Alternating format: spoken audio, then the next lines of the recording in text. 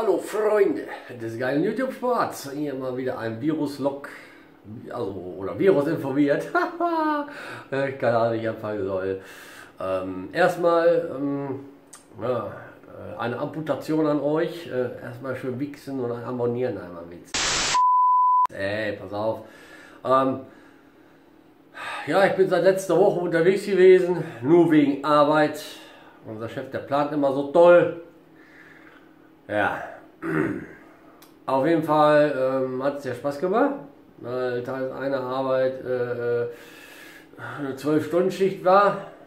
Und ähm, nur zwei Tage später halt, dann ging es ja schon wieder los. Ähm, das war nur acht oder neun Stunden, hat aber auch schon gereicht. Da musste man dann halt mit piekfein Anzug, also schwarzes Hemd ohne irgendwie ein Logo drauf, normale Jeanshose und dann Lackschuhe. Jo, das war die Veranstaltung, die ihr im Fernsehen gesehen habt, RTL 2 Promi Bowl. Ich stand da, ich war dabei. Man konnte mich halt nur nicht sehen, weil ich auf der Eingang, Ausgang stand. Äh, aber ich war da. Der Camillo war auch da gewesen. Ja, deswegen habe ich mich leider nicht gesehen, aber macht nichts.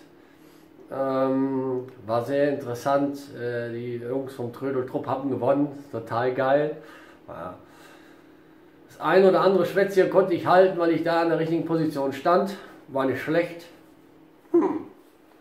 Fand ich geil. Toll. Ja. Und äh, ja, äh, übernächtigen konnten wir in einem Bauwagen. Hm. Ganz toll. Oh, mir tut jetzt immer noch das Becken weh. Das, äh, Nee, ist egal. Die Leute sollen auch noch die Erfahrung machen, deswegen werde ich hier nicht weiter ausholen. Ja, und ansonsten, äh, zweite Nacht haben wir uns den Arsch abgefroren. Wir waren froh, dass wir da wegkamen. Unser äh, Kumpel Sven hat uns hinterher abgeholt. Sonst wären wir auch nicht mehr nach Hause gekommen. Wir haben uns dann da noch ein bisschen Park und zwischendurch ein paar Pokémons abgegrast in der Stadt, Winterberg. Ja, ich muss sagen, hat richtig Spaß gemacht. Wetter hatten wir auch noch so ein bisschen Glück mit. Ja, und äh, ja, es war schon, es war mal was ganz anderes, dass man unter, unter solchen Abwägen auch noch arbeiten musste. Äh, also ich weiß nicht, wie lange ich das noch mitmache oder sowas, aber irgendwann ist bei mir der Geduldsfaden auch zu Ende. Äh, egal. Ich will mich da nicht so aufregen. Bevor ich wieder zu Hause bin, jetzt kann ich mir endlich mal wieder eure Let's Plays und Vlogs angucken. Da freue ich mich schon tierisch drauf. Hab ja viel verpasst in der letzten Woche.